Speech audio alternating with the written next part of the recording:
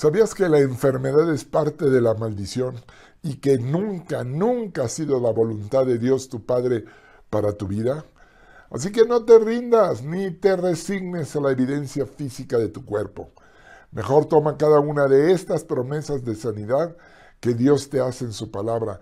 Créele a Dios y declara su palabra. Repite después de mí.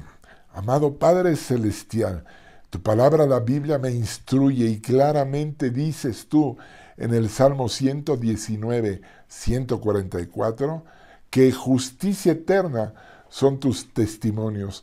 Dame entendimiento y viviré y viviré. No dice moriré. Por lo tanto, hoy declaro de acuerdo a tu palabra, me someto a ti, a tu palabra, para decir, viviré. No moriré. Yo tengo el entendimiento de la verdad.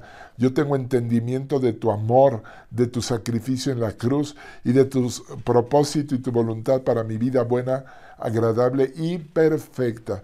Así que en este momento yo le hablo a este cuerpo, a estas dolencias o enfermedades que se quieren manifestar ilegalmente aquí y les digo, no pasan, yo viviré, no pasa la enfermedad, no pasa ningún problema intestinal, no pasa eh, la, diarrea, no pasa eh, los, los dolores de cabeza, no pasan problemas en el corazón, en la circulación, en las articulaciones, no pasan.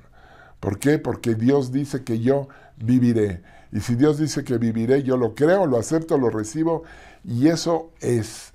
Así que Satanás, resisto tu espíritu de enfermedad y muerte fuera de mi vida. Yo recibo la salud que Jesucristo compró para mí.